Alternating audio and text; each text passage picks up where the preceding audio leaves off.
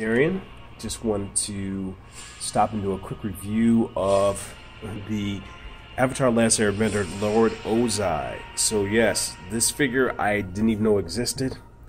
Um, I didn't find out until later on, maybe 2013, 2014, and they stopped making these a long time ago. Uh, this figure is very difficult to come by. Um, it wasn't released in the States. I was released someplace overseas. I got this from England. I've had it in the attic for a couple of couple of years. So I'm going to break some of these out and actually do a review on them. But um, Lord Ozai was Zuko's dad. Lord Ozai's voice was played by Mark Hamill, who's Luke Skywalker, and the Joker in all the Arkham Asylum games. Uh, this is one of his. He did voiceover voices for uh, the voice for Lord Ozai here. Um, this figure is very difficult to come by. Like I said, um, it, I don't know why they they didn't actually uh, do production or have them have the toy line actually here in the states. Uh, it's beyond me. And why did they make any female characters? Again, beyond me. Because Toph was awesome. I like Katara also. Um, but they didn't. So here you got Zuko here. I mean, not Zuko. You got Lord Ozai, Zuko's father. Uh, you got artic articulation in the arms, elbows. Um, they turn, rotate. The head can't move that much because of the hair. You got you have uh, articulation in the waist. Legs go out. Come back. Feet can go down. Actually, the feet, the, the calf can rotate also. So there's a lot of articulation in this in these figures.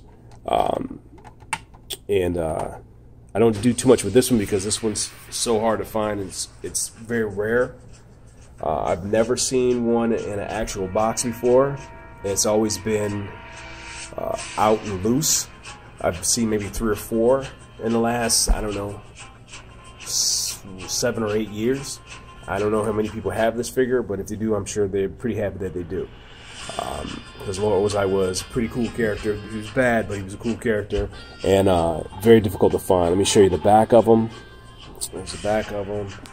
Uh, close up. There's the crown, hair, the vest, and I believe this is stamped 2006 on there. I gotta get a magnifying glass. I think it's 2006 or 2008, but I believe it's 2006.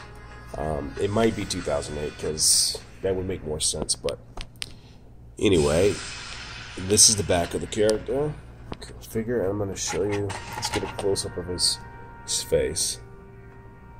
There we go. Looks just like the cartoon uh, with the beard and the look on his face and whatnot. It's basically the same. I mean, look at that. He was not messing around. Um, if you get a chance to watch Avatar Last Airbender, if you haven't seen it, and I'm not talking about that goofy movie where his name is Aang and they did all this goofy, you gotta have fire next to you in order to bend fire and so on. These guys could come use chi for their fire and they need to have it next to them. Um, the storyline was great. It started off kind of Harry Potterish. It got serious towards the towards the end of the uh, end of the series when he had to go ahead and challenge Lord Ozai, which was awesome. It was an awesome fight. You can find that on YouTube. But if you have a chance to get the DVDs, it's definitely worth watching.